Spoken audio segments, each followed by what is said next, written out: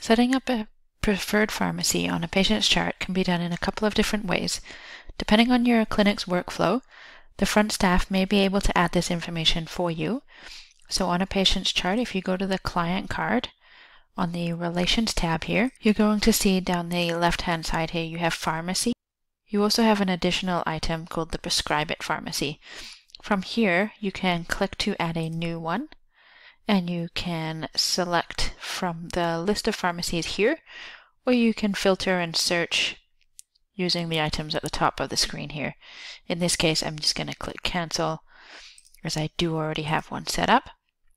So this information is now saved on the client card, but it will also mean that it will default to that selection when creating a new medication on the patient's chart.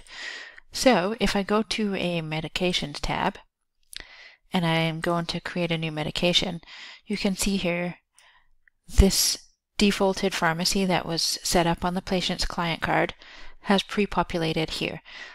That doesn't mean to say you have to send to this pharmacy every single time. For this particular individual medication, you may choose to send it to a different pharmacy, and you can do so by selecting from the drop-down or clicking on the Search for Pharmacy button here. And then it will open up that search and select window again. So you can again select from the drop-down, search based on city, address, uh, whether it's in Alberta or a different province.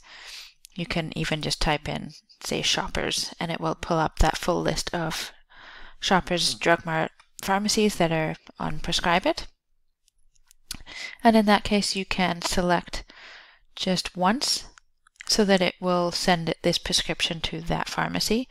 Or if the patient does not have a preferred pharmacy already saved on the client card, you can do that as you're creating the new medication. So you search for your pharmacy, you select your pharmacy, and then you can select and add as preferred. So this is going to add this to the client card in that Relations tab as a preferred pharmacy for this patient. So moving forward, this is going to be the pharmacy that will populate when creating a new medication, unless you need to change it for a specific medication.